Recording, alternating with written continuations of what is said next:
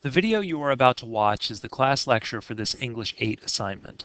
Treat it as you would any lecture by paying attention, following directions, and taking notes. But this is better than a lecture. You can pause the video to catch up with notes, review something that you missed, or refer to other files on your computer. Remember that you are accountable for all material in this video. Today's class lecture will discuss the final written section of the speech analysis research report, and that is the conclusion. The conclusion is a vital section that will provide a sense of closure and importance to the reader.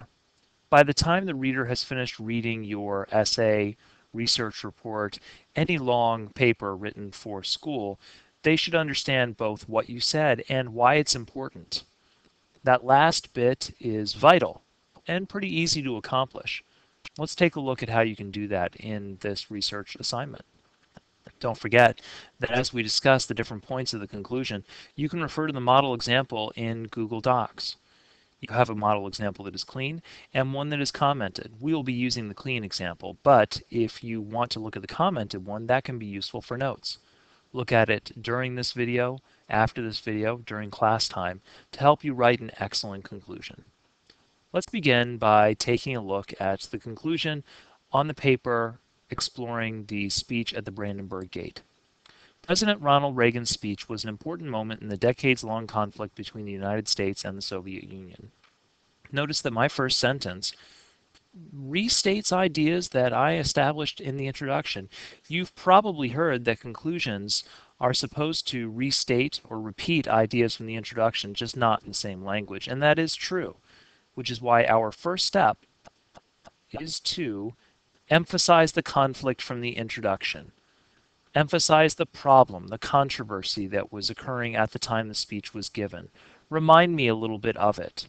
This will help set the stage for the importance of your paper and the importance of the speech.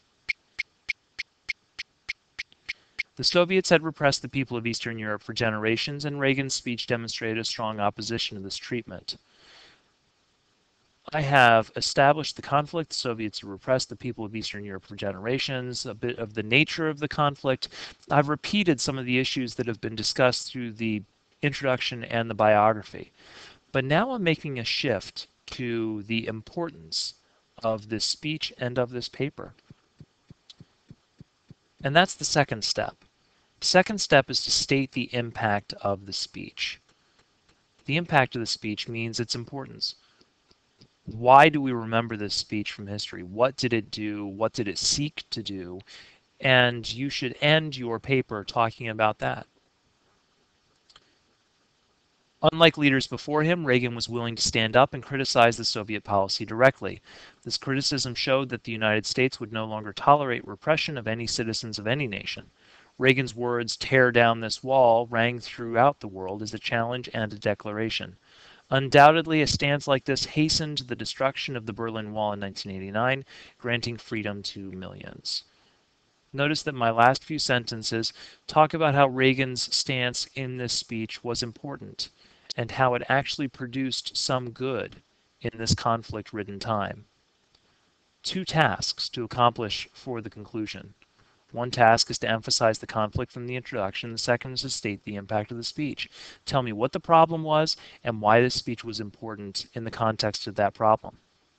If you've done that, you have not only reminded your reader of what's going on, but you've stated why it's important that they understand this. Remember that if any of this is unclear, you can feel free to refer to the commented version of the model example, but bring those questions to class as well. Class time will be the time that we can answer questions about the particular assignment, how you do the writing, and we'll take a look at your rough draft to polish it and improve it and make an excellent final version.